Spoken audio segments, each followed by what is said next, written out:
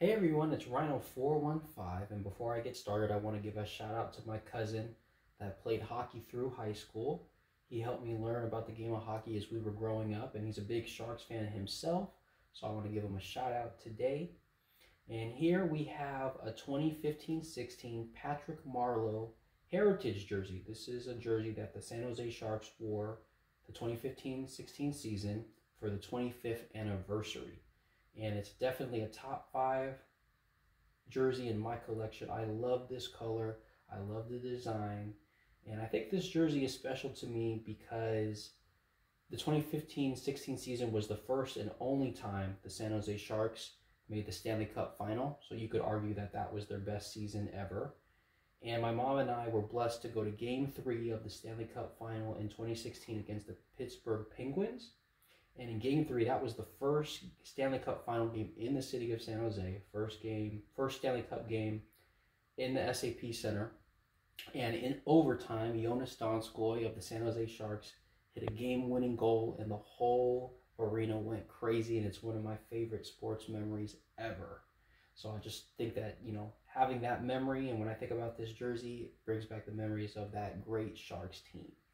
So about Patrick Marleau himself, you could argue he's the greatest San Jose Sharks player ever. He's my favorite NHL player ever.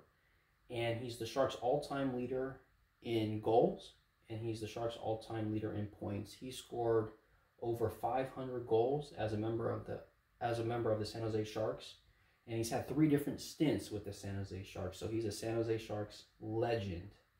And that 2015-16 team also featured Joe Thornton, Joe Pavelski, and Brent Burns.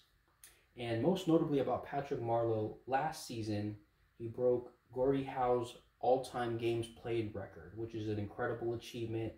And actually, last season, which was the 30th anniversary season, the Sharks brought back the same heritage jersey as well. So I just think it's awesome to have Patrick Marleau on this jersey to commemorate that season and the Stanley Cup final run that they had. So to get into the jersey itself, at the top here, we have the NHL crest. This is a Reebok Premier jersey, so it's not an authentic jersey, yet it's, it's still high quality and very comfortable to wear. At the top here, you get a V-shaped collar, which I really like. In the middle here, you get this big throwback Sharks logo. Throwback to the 1990s San Jose Sharks team. And the color, the teal as well, is a throwback to the original Sharks jerseys. It's different than what the Sharks usually wear. And towards the bottom here, you get the white and gray stripes. And then you get a jock tag here on the bottom of the jersey that you get on the Reebok Premier jerseys. And this isn't actually stitched on this logo. This is heat pressed on. It's very high quality. So if you were to go to the other side of the jersey, you wouldn't see any stitching. Yet again, like I said, it's very comfortable to wear and it's actually pretty, pretty lightweight. So let me bring it over here now to the sleeves. You get the 12 single stitched on. You get Reebok down here on the sleeve more of that gray stripe, white stripe.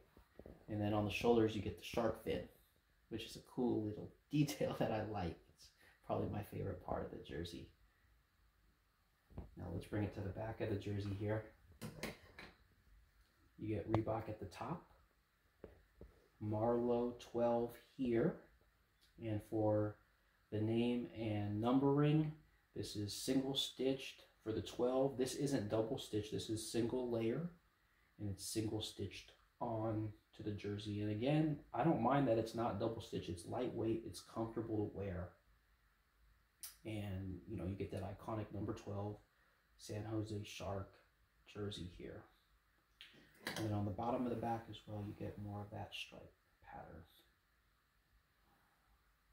So that's it for this jersey. I absolutely love this jersey. I have a couple hockey jerseys coming in. This was the first hockey jersey I ever bought. I have a couple more coming in that I plan to do unboxing videos for. So I appreciate you guys watching. If you like the video, please give it a like and please subscribe to my channel. Thanks.